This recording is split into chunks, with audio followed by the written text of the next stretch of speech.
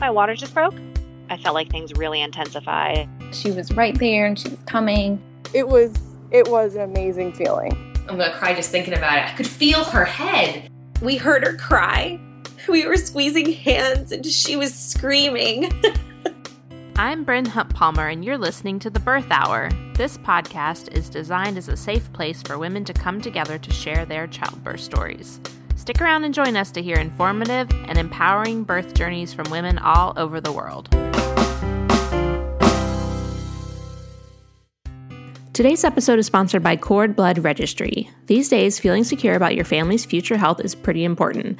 I'm very excited to introduce our new partnership with Cord Blood Registry, also known as CBR. CBR has helped millions of parents bank their children's newborn stem cells.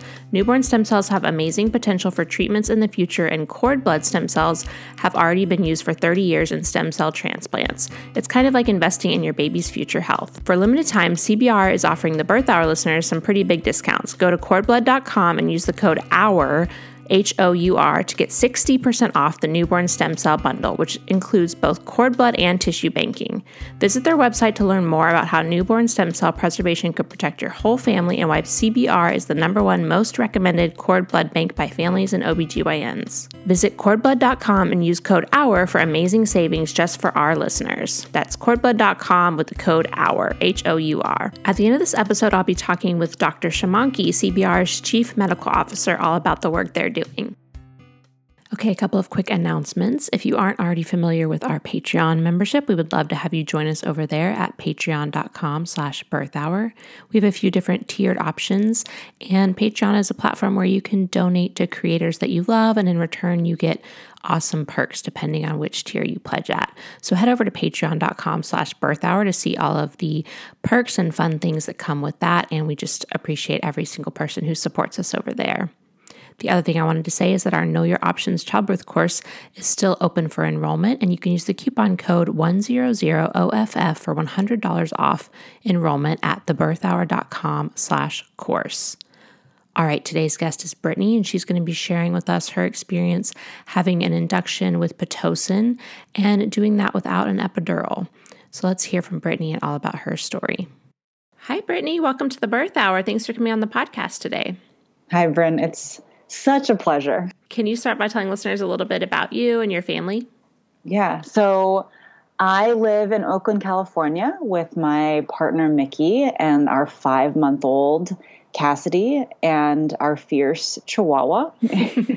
and um, I am the founder and CEO of a company called Little Feminist. We're a monthly book club subscription, and we send one to two books a month to thousands of families around the country and world that feature strong female characters and Black, Indigenous folks of color. It's so fun to have you on the podcast because we've partnered over the years as you started Little Feminist and now you're a mom. So I'm sure you have even more perspective on some of the people that you work with and the books that you're promoting and everything. I really do. Yeah, it's been, I was kind of faking it till I. No, not at all. All right, well, let's hear your story. So let's start with um, getting pregnant and finding out you were pregnant. How'd that go for you?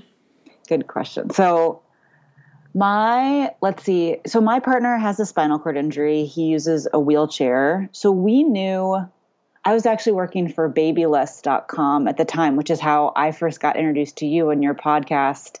And while I was at Babylist, I turned to Mickey at one point and I said, Hey, I'd like to know sooner rather than later, like what are like if we're going to need to do IVF or not. Um, because with his type of spinal cord injury, it's it's common, and so maybe five or six years ago, he got some extra testing for his part to kind of confirm, like, yes, it was looking like IVF was going to be our path forward. So while it was disappointing news, it was nice to know. Like, we went straight. We did one round of IUI, and that was not super useful. Um, and then we realized we, we kind of went straight to IVF. And the silver lining in that is that we went straight there, and there weren't there weren't many months and years of trying. We went straight to IVF, and so we did um, one round and have many embryo. I think we have we had eleven total, and um, And then Cassidy was the first embryo that we put in, which took us both by surprise. Yeah. So, what was it like finding out?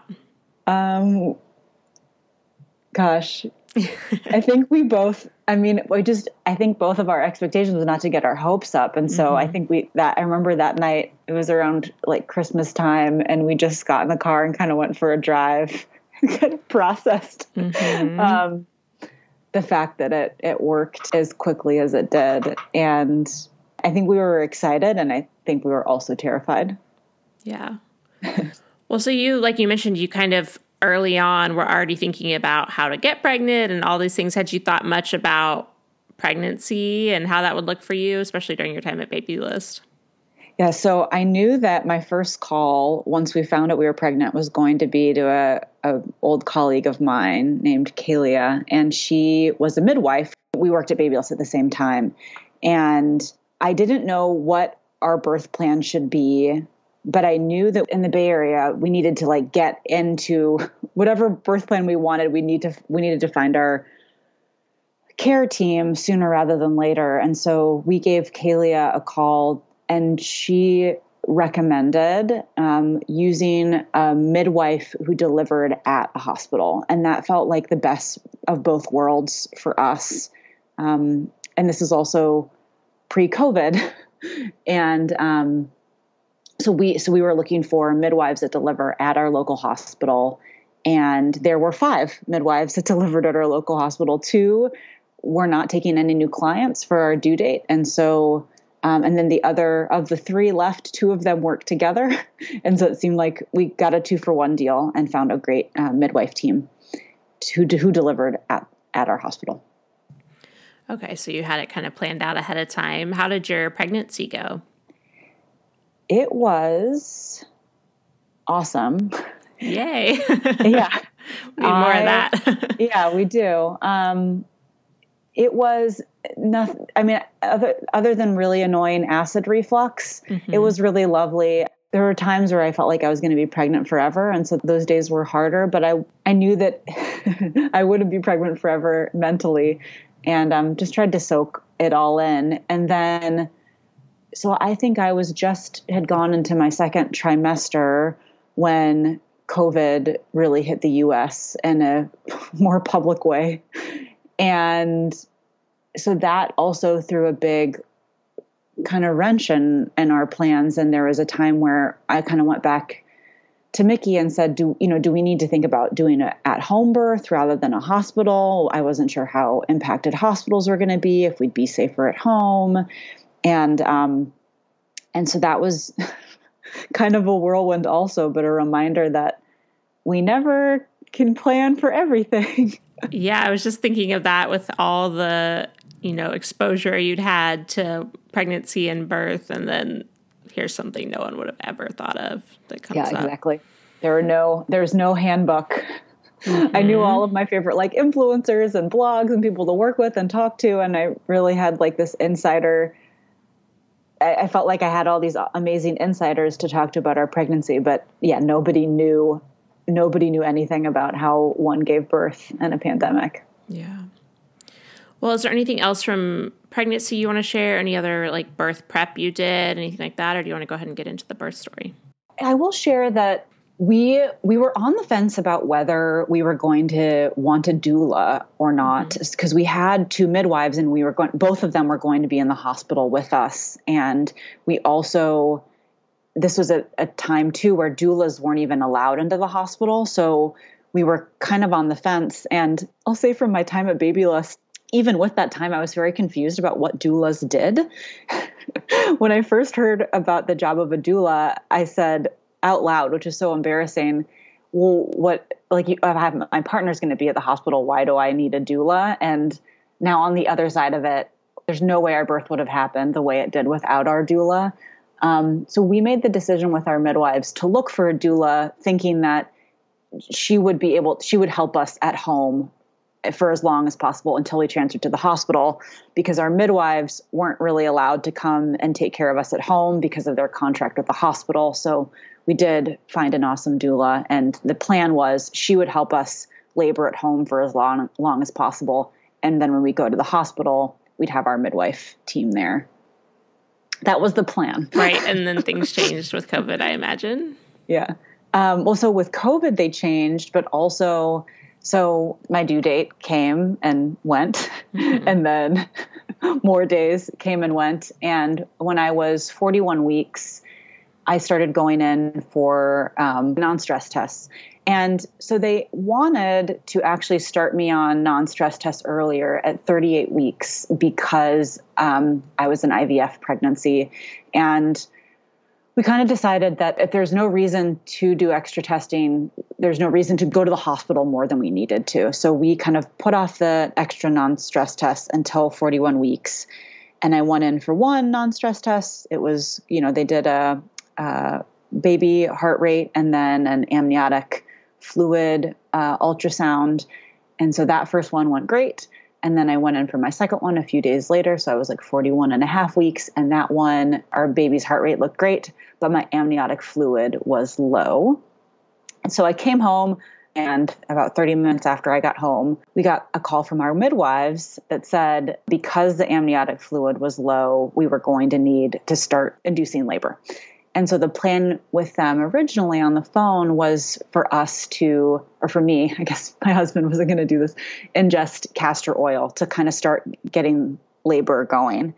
And so that was the plan we had set with them on the phone. We started, uh, Mickey and I kind of started planning and talking. And then 20 minutes later, we got another call from our midwives where they said, never mind, the hospital wants you to come in now, right this minute. And oh, wow. so that was a big change yeah. and not that much time. And the reason was the so the midwives have an attending doctor that um, overlooks their own work, and it was our hospital's opinion that because I was post due date I had that was number one. Number two had low amniotic fluid, and number three was an IVF pregnancy. That there was one too many, um, I don't know, strikes against us, and the and worry for a stillbirth. I think you talked about in previous podcasts. Like there's some recent research about stillbirth increase, which is kind of unfortunate. Um, and I and I get the rationale for them, but yes, we had to pack our bags for the hospital. And we had our hospital bag packed but we had to pack our bags for a you know 2 to 7 day induction process. And we you know we had packed our bags for 2 days not 7 so that was kind of an interesting last minute packing effort. Yeah i'm sure that was a whirlwind. Yeah it was. And let's see. So we loaded up our car with absolutely everything that we could think of um, because they did they were allowing the hospital was allowing partners to leave once a day to grab things. So we thought if Mickey could just come to the car and get anything that we needed that would work. So we put everything we could into the car. Um, we actually had rented a birth tub to labor at home. So we couldn't put that into the car. So that ended up staying at home. And this was this was just really disappointing news for both Mickey and I to have no laboring at home because I had kind of pictured how I would all the like coping mechanisms that I had learned, you know, I was picturing them in the comfort of our own home and also it meant that our we weren't going to be able to use our doula. And so this was a really I mean, it's an amazing collaboration between our midwives, the hospital, our doula, and to be honest, two other midwives that we didn't even employ all came together and um, asked the hospital to make an exception for us to have our doula come to the hospital with us. Their rationale being because Mickey uses a wheelchair, that we were going to need an extra set of hands for, um, you know, for labor, uh, and and they said yes amazingly. And so right when we were heading to the hospital we got news that alta bates our local hospital had said a one time only exception for us to have our doula come into the room. She had to get covid tested and you know come to the door with those. And we were she had you know she was going to come in right you know right when we needed her uh, so once labor got started. So that was while it was disappointing news and we felt kind of, you know, out of control with what was happening, it was really nice to know we would we would have extra support. Yeah, I'm really glad that they were able to make that happen. Yeah. Yeah. It was a magical yeah, I feel really grateful to all the midwives, not even our own, who helped um, advocate to the hospital that this was an exception to be made, which I feel so lucky about. Yeah. All right. So then, how did labor progress for you? Good question. So we got to the hospital and we decided that we do kind of a Hail Mary, like ask them to do one more amniotic fluid test because if it, we were only like, I think it was like 0.2 milliliters off, something like this. And so we got into the hospital, went into triage, got checked in, and so this was a, this was August, um, and it wasn't. It was very quiet actually um, in the hospital, and so we asked for an extra amniotic fluid test, which took a couple of hours. We were still low, um, and then that meant we were going to try the bulb. The cook, what is it called? The cook's. Um, yeah, I don't know that. The, I know the Foley bulb. The Foley bulb. Okay, yeah, that's right. you yeah. never know. There could be a new bulb that I don't know about. Um, so, because of the extra testing, we didn't put the Foley bulb in. I think it was three o'clock in the morning. So we went in Friday at ten o'clock at night, and then this was Saturday at three o'clock in the morning.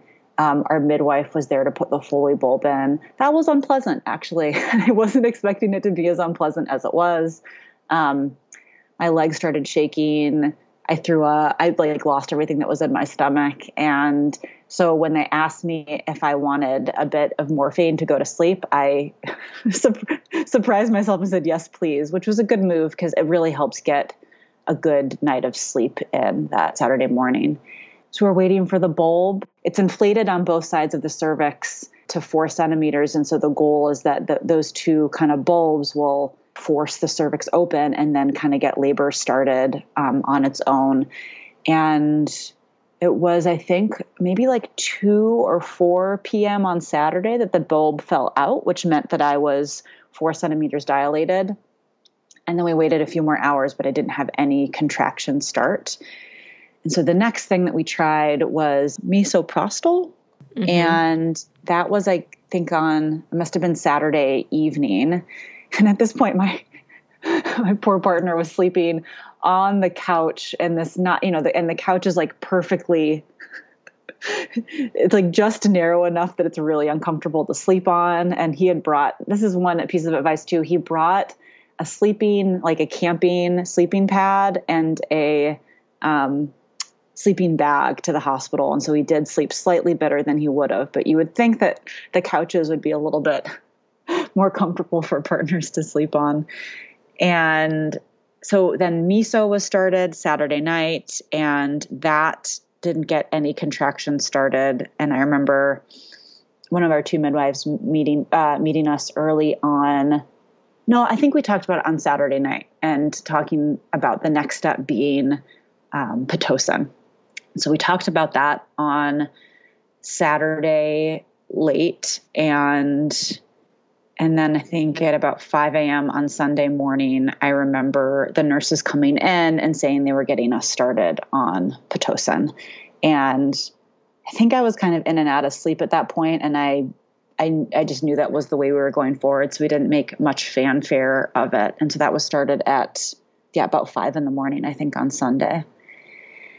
And then the second big bummer of our birth story is a few hours after they started me on Pitocin, you know, I woke up from contractions probably at about like eight in the morning. So a few hours later. So I did sleep for a couple hours as they were just ramping up the Pitocin.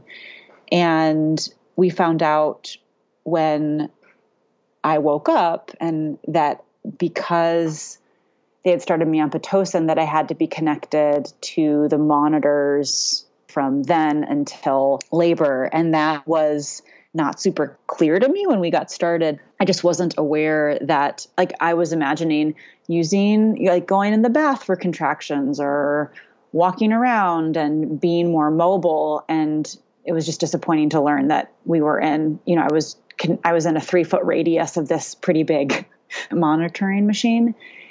And I think I was most looking forward to, you know, using the bath and the shower to get through some contractions. And so this was a, it, it was just a bummer to learn that after we had started Pitocin.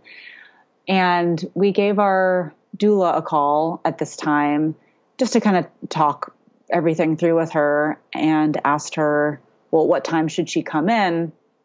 And her answer was, when Brittany can't talk through a contraction anymore. And right when that happened, I handed the phone to Mickey because I couldn't talk through the contraction. So she, our doula arrived at the hospital about 30 minutes after that. So I think, I think this was around 10 a.m.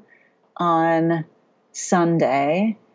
And contractions just started hard and fast. I, I don't know the exact timing of them, but it felt like you know, by 10 a.m. I was having contractions. It it it felt like every three three minutes, two to three minutes apart. It could have been four to five, but they were real close. Um, I didn't have. I felt like I didn't have much time in between them to kind of recover. And remember when our doula got there and went through some contractions, maybe about an hour. I turned to her her name is Sarah and Mickey and said this isn't looking good for me. I need a pep talk because right now I I can't think of doing this without an epidural. Um, I'm gonna cry during this part. and I remember Sarah like putting her head down by me. I think I was squatting at this point and saying, um, I want you to know that this is the hardest part. And um, you're doing really amazing and just know that this is the worst part. And i we had um, such a great relationship with her and so much trust in her from the from the moment we like even our doula interview.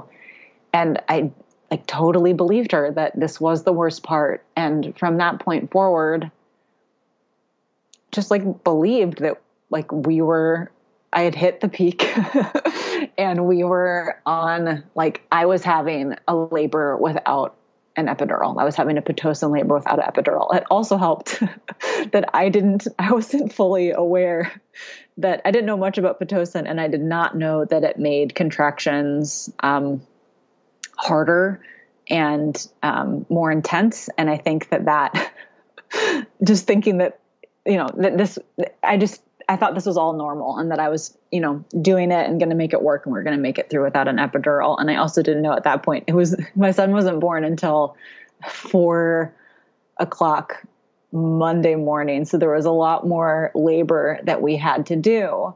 Um, but when we asked our doula, so she when we kind of had a debrief where we talked about the whole labor um, a week after, or uh, maybe five days after Cassidy was born and afterwards, she had told us that when she sat down next to me and told me that this was the worst part, that it was her experience that it was because my brain was still online, that I was still like very much analyzing the pain I was in and where I was going, and my body like hadn't because the, the, contractions were happening to me more than coming from me. And um, and so with my brain still online and still analyzing everything that was happening that it was the worst part. Um, and i think you know she made a she made a good call on that point because i think it was i was thinking about how at that point in labor and not really again thinking about how in the world i was going to get through it. Um, and that became a lot less of an issue as you know as labor started. And my um, my uh, natural oxytocin never kicked in. So I was on Pitocin the entire labor, and they had to keep on cranking it up as you know to to get me further along. And I think by the end, I was at like a Pitocin level of 23, and like 20 is their max. So you need like special approval from the doctor to go past 20. Oh, wow. um, so it was a lot of Pitocin. Yeah, that's a lot. Yeah. Um, the other thing I'll mention is I don't know at what point this was. I was I was wanting to get into the we I think we had asked our doula if they if there's any way we could like get into the shower or like bring the monitor with us into the bathroom to help deal with the contractions. And so they said that I could go. So I ended up going off Pitocin. I ended up disconnecting from the Pitocin. They said I was allowed 30 minutes to be off of it and go into the bathroom and be in the shower. I, I think I was still connected to the monitors at that point. And that was a nice respite. Um, that one of our midwives had like put little electric candles in the bathroom and like it smelled amazing. It was steamy and lovely, and it was a nice break. And I noticed that my contractions and like pretty immediately like stopped once I was off the pitocin, and so it would have been nice to have a 30 minute shower. And I think I was in there for about maybe 15 minutes, and then we had to kind of work back up to where we were with the pitocin. So it was it, it was it was definitely a nice break. Um, and you know afterwards we had to work back up to where we were and then at that point once we got out of the bathroom i asked um, the nurse who had been with us her name was jackie to cover up the clock i really was hoping that we were just a couple hours away and kind of knew internally that we were farther away than that point. and so asked her to cover up the clock because i didn't want to be looking at the time.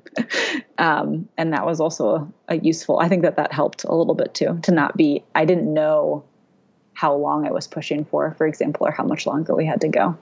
Yeah, that's a good um, tip. We talk about that in our childbirth course, and I had kind of forgotten about it. So thanks for sharing that.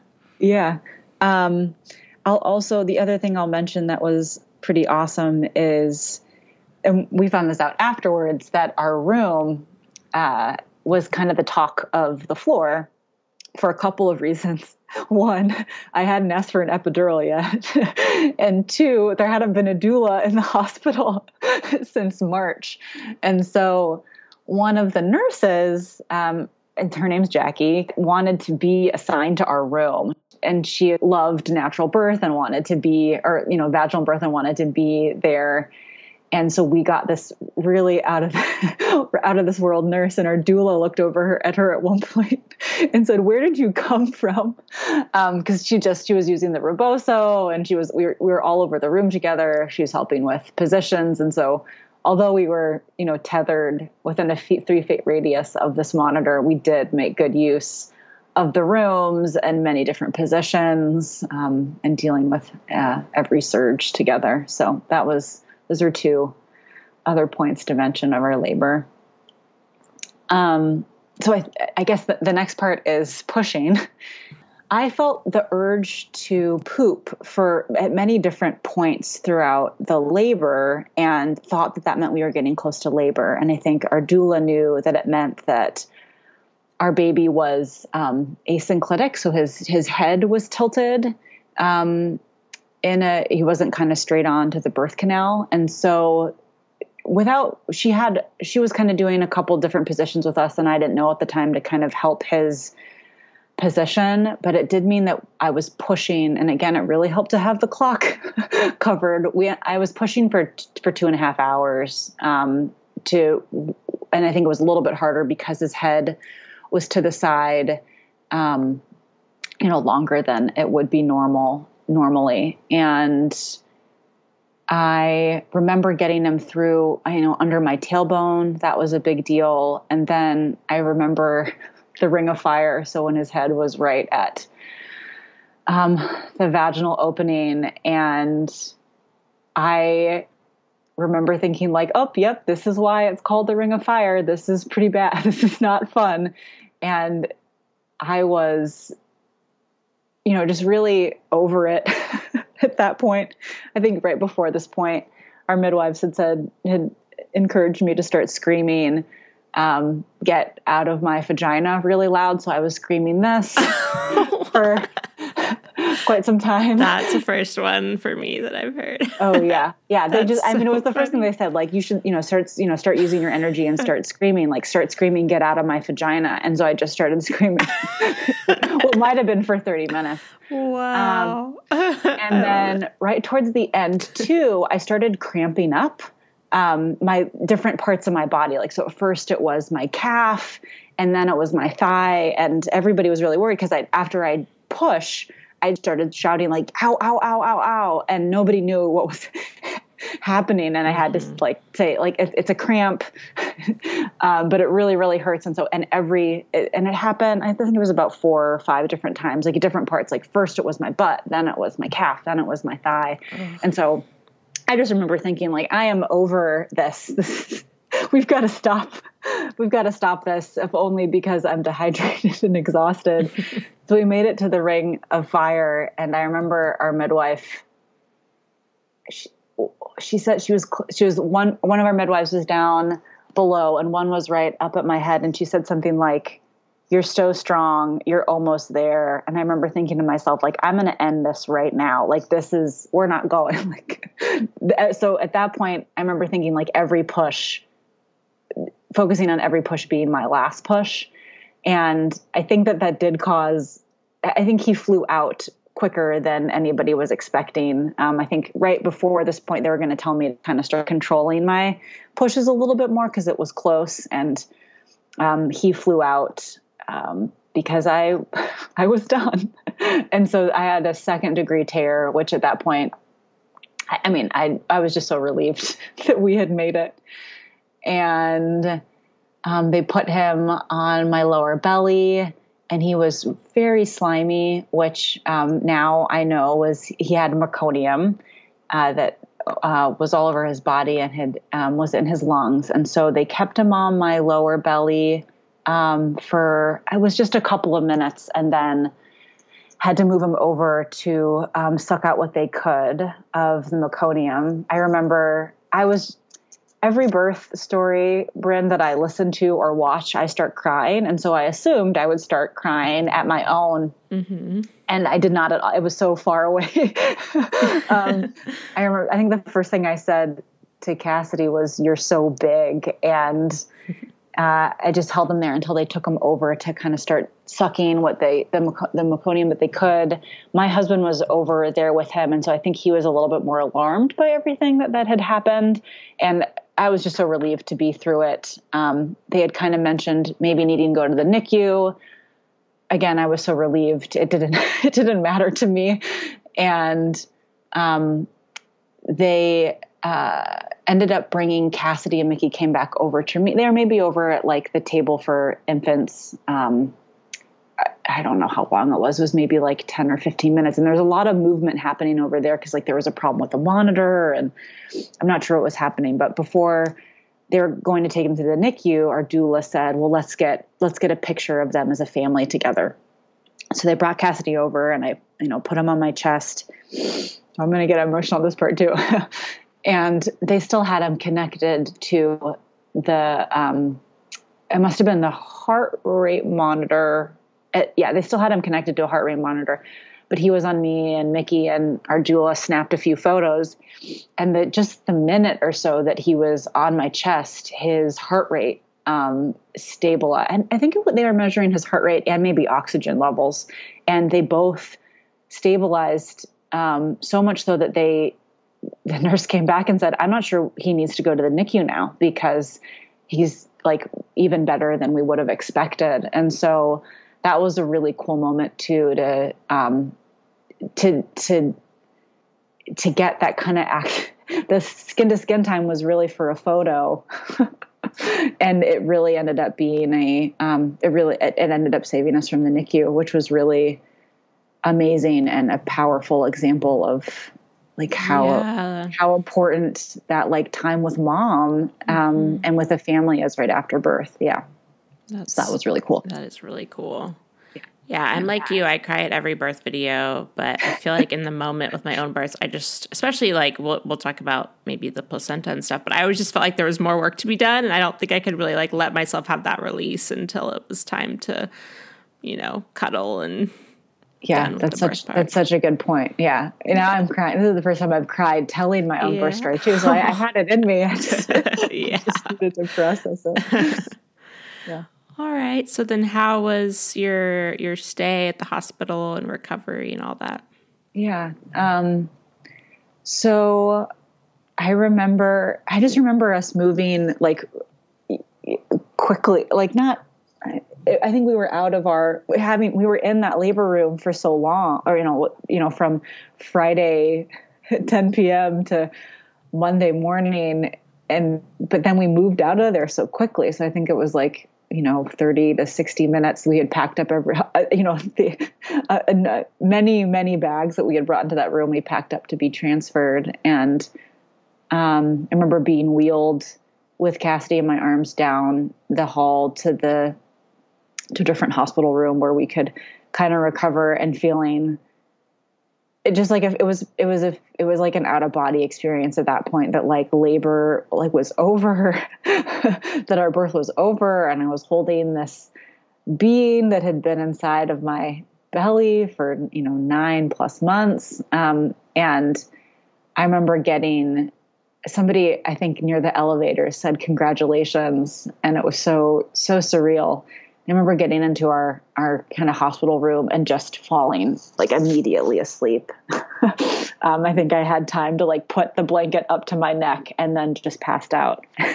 Figured somebody else would take care of what needed to be taken care of. That's so um, good that you're able to sleep though, because usually baby will sleep for several hours after birth too. I don't tired. know how long it was. Yeah, I think. I mean, I remember waking up in the afternoon, or early afternoon. So I think I slept from like five to. I think it was about five in the morning. So maybe like twelve or one. Mm-hmm. And um, and I mean, the, the hospital was really lovely. I think that it was it was sad not to have you know my mom or Mickey's mom or any of our family members or friends come and visit but there was also something really like sweet and sacred about that time just being the three of us um, together in that room and you know not having visitors. And so that was you know that was most definitely a silver lining. Um, mickey went out to deliver the placenta uh, to my mom and his own mom. Um, i think it, it must have been at like four or five o'clock in the morning. They my my mom or Mickey's mom couldn't sleep, so they were up and came up to the hospital to grab the placenta um, to be encapsulated. And it was it was just a it was a really sweet time in the hospital together. I remember being kind of apprehensive to start breastfeeding because um, I'd been with um, my good friends in the hospital and knew how hard latching could be. And then I think one night a nurse just came in. It was like two in the morning. She's like nope we're just gonna try. And she just like she squeezed my boob and like kind of rammed cassidy's head into my boob. And i one thing we learned from the nurses is how not delicate they are with infants.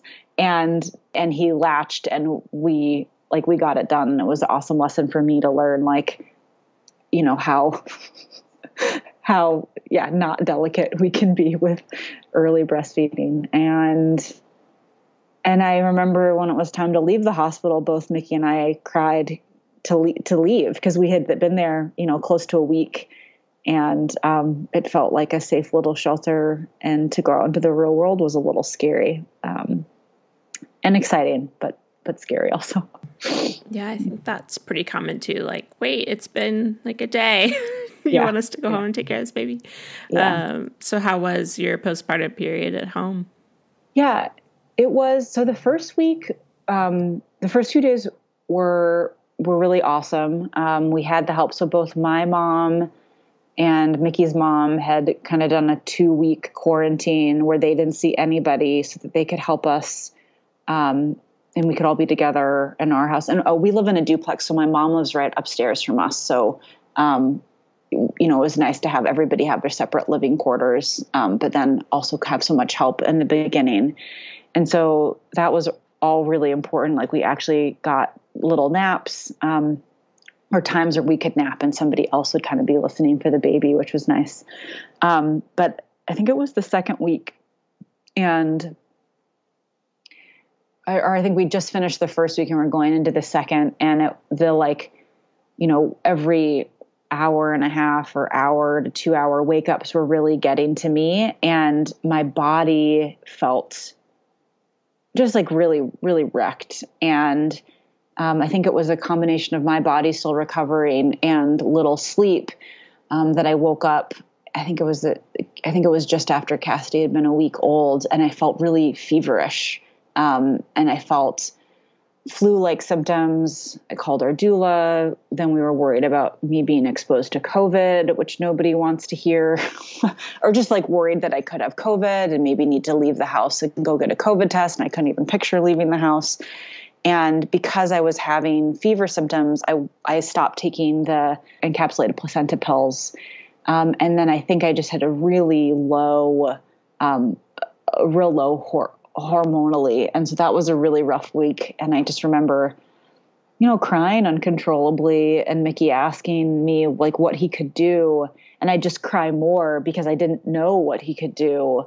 I just, there were, there were no answers. It was just, it was just more crying.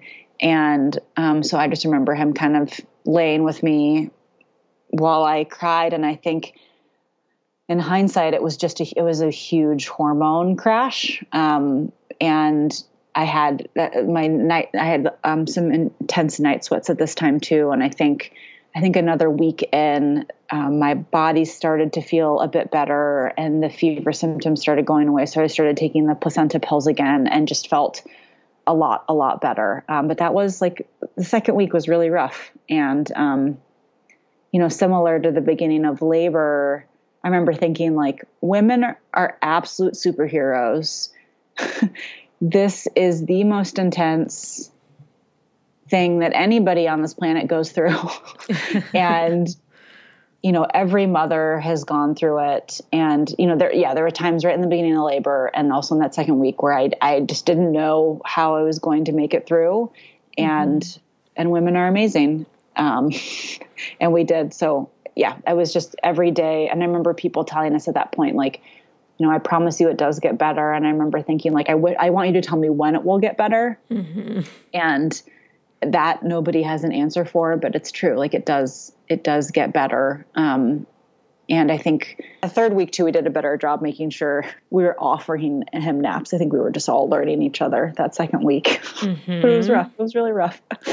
yeah, I think it took me till my third to like r- realize that they cannot physically be awake for longer than like an hour without just losing it. And so if you could get ahead of that fussiness and get those naps in all the time, it's so helpful. That's exactly what happened to us. Yeah, I think we weren't really noticing. We were just like so elated and right. like you know, FaceTiming with different family members and then be like, oh, wait, he didn't, you know, or he'd be kind of napping on my boob. So I wouldn't take, yeah. Right. Yeah. More diligent. Well, thank you so much for sharing your story. Did you have any resources? You mentioned a few throughout, but any more you want to add here at the end?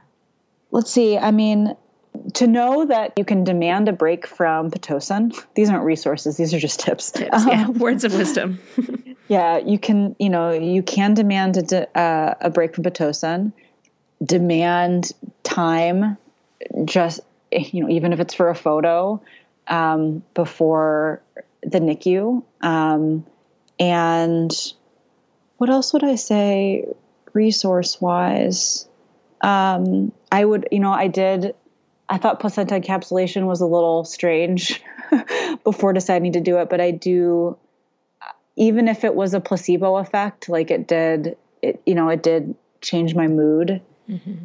And I would still do it again, but midwives at the hospital felt like a really awesome combination of of being able to for for for us we were more comfortable having birth in a hospital and it felt like to have a midwife team be you know we didn't really we didn't see a doctor the whole time. So i really loved that combination of care. And that and for folks to know that that's an option because at least here it's a little bit more uncommon um, mm-hmm. people don't know that they can do that.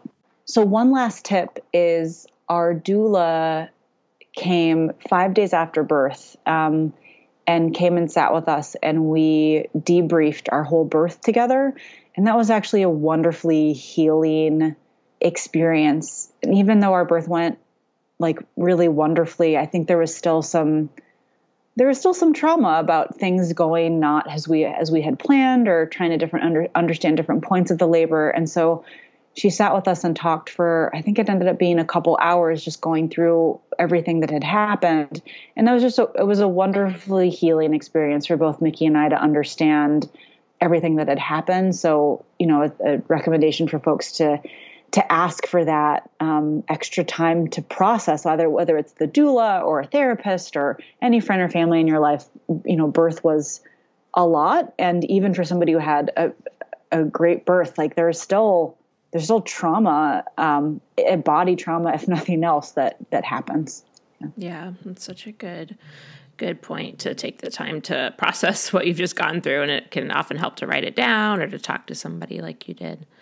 Yeah, exactly. Yeah. All right. Well, thanks for sharing those things. And then did you want to share where people can connect with you? Yeah. Um, let's see. I think the best is probably my work email and then also um, our work Instagram account, which I, I check more than my personal. um, so my name's uh, Brittany, uh, and it's B R I T T A N Y at littlefeminist.com. And it's L I T T L E F E M I N I S T.com. Um, you could also just email hello at littlefeminist.com and say you want to talk to me about birth, the, your email will make its way to me. And then Little Feminist Instagram account is uh, at Little Feminist Book Club, um, and I check I check our DMs there also. Okay, awesome. We'll put those links on the show notes page as well. Thank you so much for coming on today, Brittany. Such a pleasure, Bryn. Thank you. Thank you for having me. Thanks for letting me process my birth with you again. Now I'm going to chat with Dr. Shamanki from Cord Blood Registry, today's sponsor. Hi, Dr. Shamanki. Thank you so much for coming on the birth hour today to chat with me about Cord Blood Registry. Hi, Bryn. It's so nice to be here.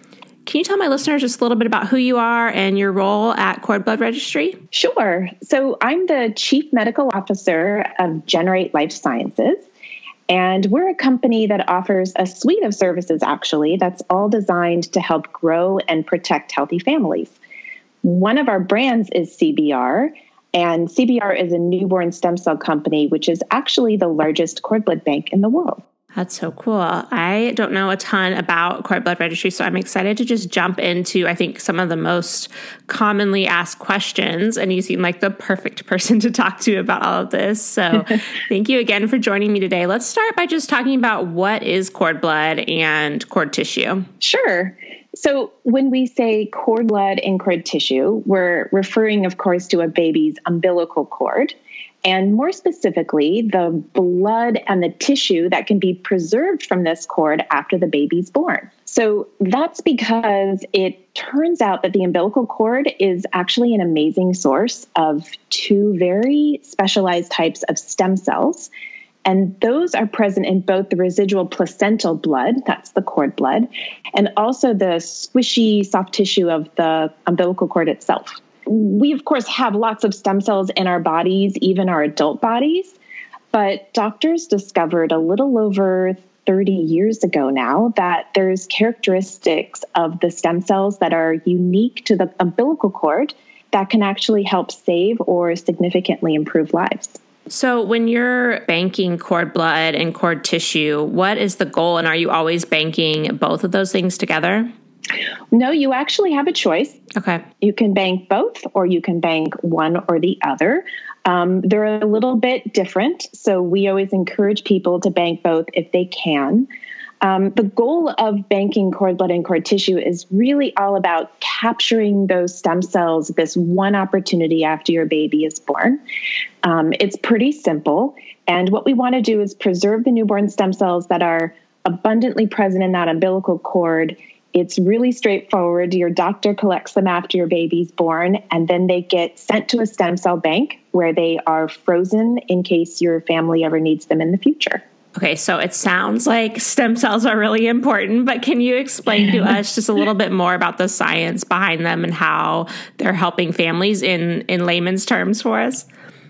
Sure. Yeah, and I could talk for hours I'm about sure. the science, but I'll I'll try to keep it simple. Um, the the simplest way to break it down is there's really two major areas of science that use newborn stem cells for helping families, and I say families. It's not just kids anymore. Um, so, one way is kind of the classic way that we discovered about 30 years ago. And that's where the stem cells are used for a bone marrow transplant. So, CBR recently shared this amazing story on our blog about one of our families who used a big brother's cord blood for a stem cell transplant that treated his baby brother, who was born with this immune disorder SCID, which some people have heard of bubble boy disease. Um, so this little boy was born with bubble boy disease, and he needed a transplant to save his life. And he was able to use his big brother's cord blood.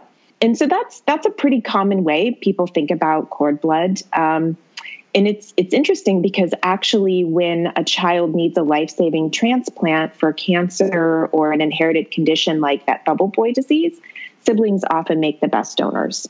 There's a second way that stem cells are being used therapeutically, which is technically innumerable ways, but we capture them all under this phrase regenerative medicine.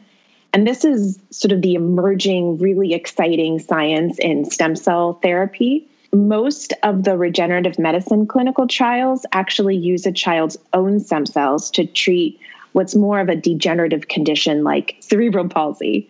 And that's really interesting because it appears that there's this population of cells that's unique to the umbilical cord that helps stimulate repair of damaged tissue.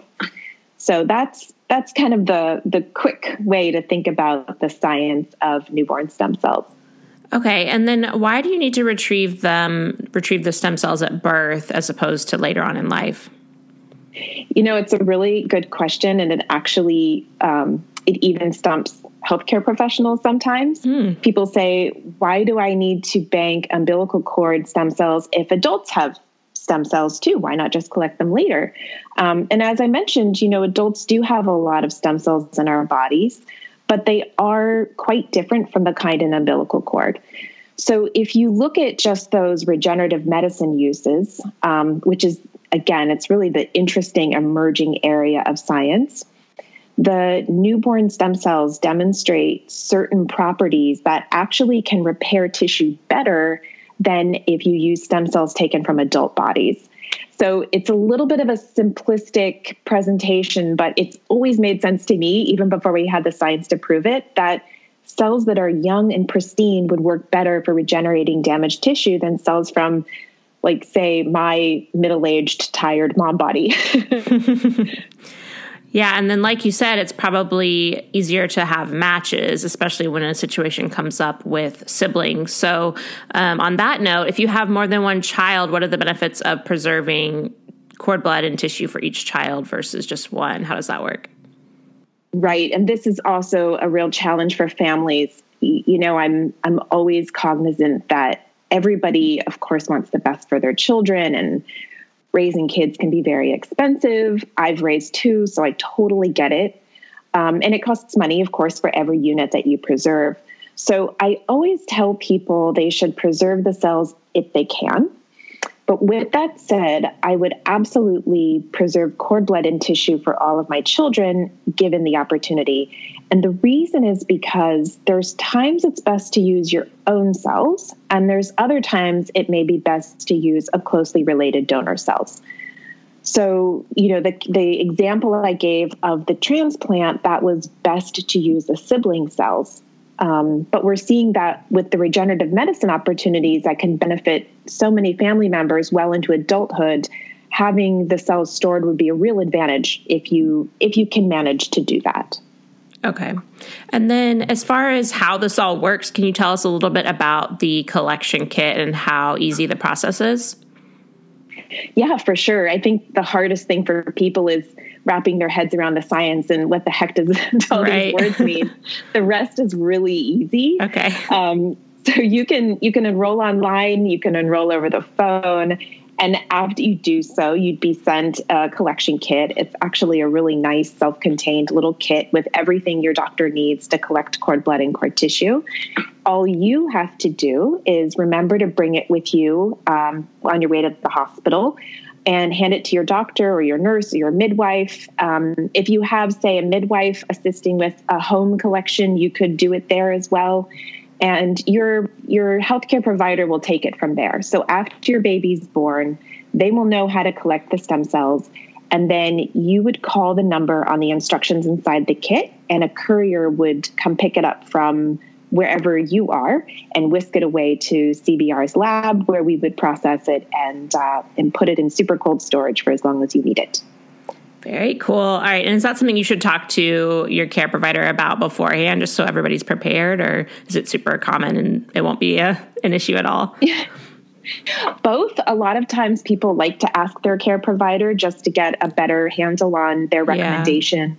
Um, but certainly, even if you haven't given them the heads up, it's it's pretty straightforward. There's instructions in the kit and for the most part, um, all of the different cord blood banks use a very similar looking kit. So once you open it up, the stuff inside is pretty common. So usually those healthcare providers know how to use it. Okay, awesome. And then what would you say makes um, CBR different from other companies? I know you said there's a few out there. Yeah.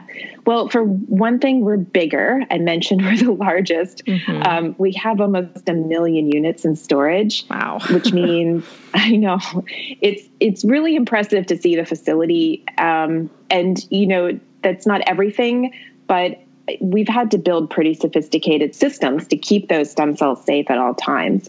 So I tell people when you're shopping for a bank, of course you really want to know as much as you can about where your child's cord blood is processed and stored, since technically that's what you're really paying the company to do for you. Um, but I also think CBR stands out as a leader in research and development and science. We've always supported clinical trials and various scientific endeavors because we have this mission that we should continue to expand the ways newborn stem cells can be used to improve people's lives. We feel like we owe that to our customers to help expand all of the ways that you can use stem cells um, to treat your family. And then finally, because we're part of Generate Life Sciences, our clients have access to other innovative products and services and a really great team of people that are all part of the same mission.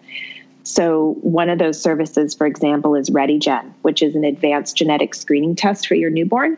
And that's something that you can get through the same company when you enroll in cord blood and cord tissue.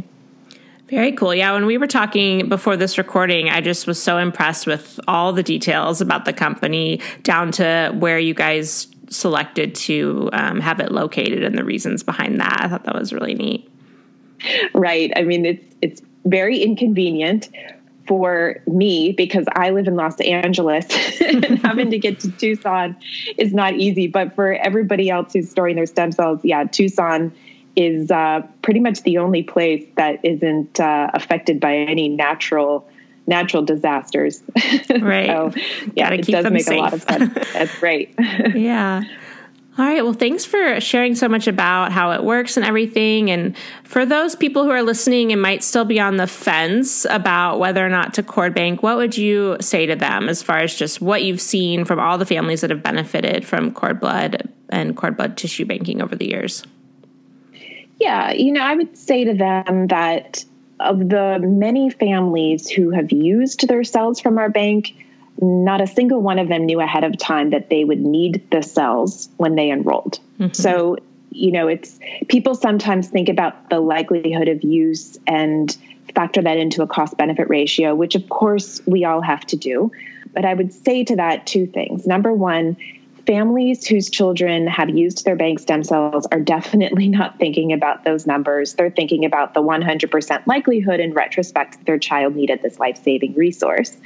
Um, and then the other thing is that over 80% of the units we've released to date are for regenerative medicine purposes. So, our field and our company being so devoted to increasing those use applications means that I can confidently say that the possibilities that families will benefit from storing your stem cells really only increases as we're seeing all of these new opportunities to improve lives with the with the cells every day. All right, so where can people go to learn more about CBR and cord blood banking? Sure. So our website is cordblood.com, pretty easy, mm-hmm. and it's full of educational material. Um, you could probably get lost on the website, to be honest. So I particularly love the blog posts and some of the videos that are featuring families who've used their cord blood. You know, the kids are really cute and the stories are really inspiring. And i'm i'm definitely a softie the older my kids get i think it's easier to move me to tears when I see videos Oh, of yeah. little kids. But, but but I um but I honestly think that's probably the best way to get a sense of who the people are that have used their stem cells and why they've stored. And I recommend everybody read those stories. They'll they'll definitely warm your heart. Well, thank you so much for sharing today and for your time. I really appreciate you talking to us about this so that people can learn more. It's a pleasure. Thanks so much for having me. Thank you so much again to Brittany for sharing her birth story with us and to Dr. Shamanki for coming on and chatting with me about Cord Blood Registry. Don't forget you can go to cordblood.com and use the coupon code HOUR, H O U R, to get 60% off the newborn stem bundle, which includes both cord blood and tissue banking. That's cordblood.com and the code HOUR to get 60% off. If you want other information from today's episode, just head over to thebirthhour.com and search for Brittany's name in the search bar, and her show notes will come right up for you. Thanks so much for listening. If you enjoyed today's show, head to thebirthhour.com and click Become a Member to pledge your support. And as a thank you, you'll get an invitation to join our private Facebook group and access to exclusive episodes. Your vote of confidence and support means the world to me.